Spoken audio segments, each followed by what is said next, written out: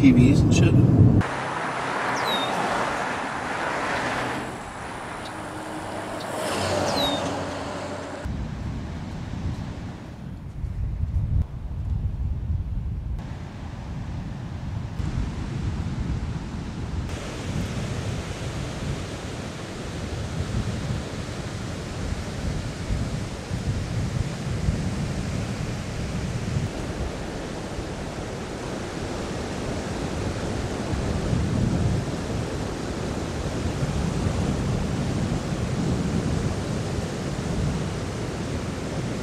So this is the cleanup. They left their garbage all up and down the beach.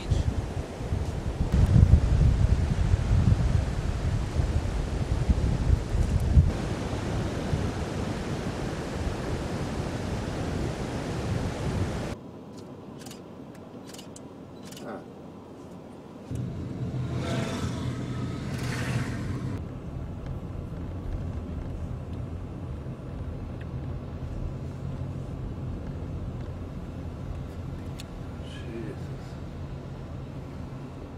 I'd say we park it right over here and jump out and hit that beach, guys.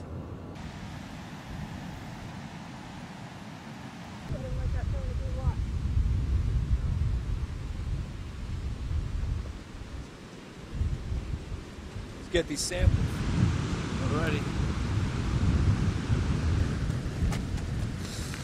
Get over there. Let's make sure we got what we're looking for. Yeah. Spot, let's get some more. Save it. I got another one. All right, all right. Look at this. You see the oil on the beach? You see that? It's all oil. Slimy, right? See the see the oil puddling in the water? Is it?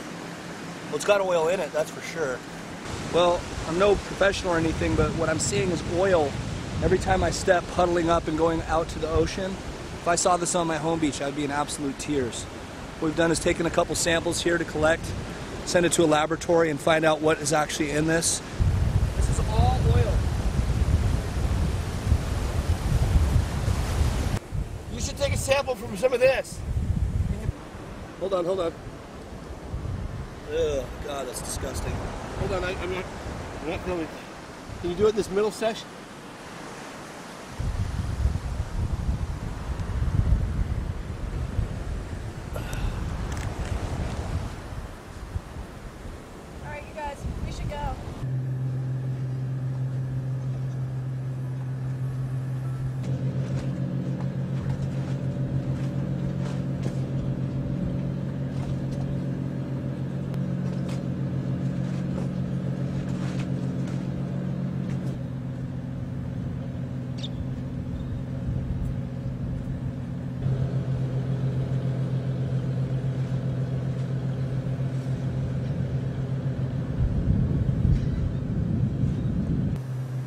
Yeah, every boat that we've seen in this uh, marina that we're in right now is completely covered in oil.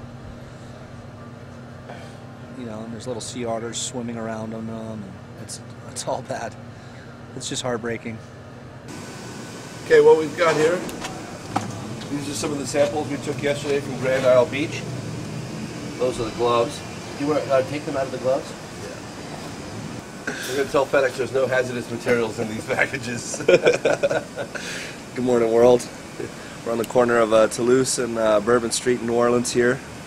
We just got back from Grand Isle. Went and got these samples. It was pretty amazing. We uh, we ran into a, a couple of uh, uh, workers that were working on the boats, some safety officers, uh, which will, will remain nameless, and um, they invited us to go have a beer at the local bar out there in Grand Isle. And uh, after a couple of beers, they introduced us to one of their uh, co-workers who had collected um, oil 20 miles out on his boat and uh, had given us a sample straight out. Now all we can do is send these out and, uh, and get some answers. You know, we got we got this one from the shore break in Grand Isle. We got this one from uh, the Rock Jetty in Grand Isle, right there at the very end. They call it the end of the world, actually, which is ironic, but that's where we were. And then this is the one that we got from 20 miles out. You can see the oil blob right there. Uh, there is a lot of something that is not oil in the in the in the oil booger, if, you will, inside the water sample, and uh, that's why it wasn't acting really like oil. Now, I think a big clue was the other were the results for the propanediol. Now, when we call, when I, I have a guesstimate. Well, I have an estimate here of how much is in there. Now, I, the number I came up with was 430 parts per million. Okay, that's uh, it is that sounds. It's actually a very large number for propanediol in water. Okay, that's that's how much that's how much wa- how much we're getting from the water. Uh, What does that mean? the what does that mean? Well, let me put it this way: the, the propanediol is actually part of Corexit. Okay, so if I'm measuring uh, 430 parts per million of propanediol in water, in the water itself, this is just one part of Corexit. The Corexit itself has to be a much bigger number.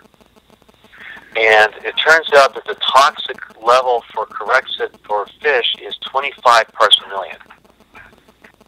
So we're measuring at least 400, and 25 is toxic in water.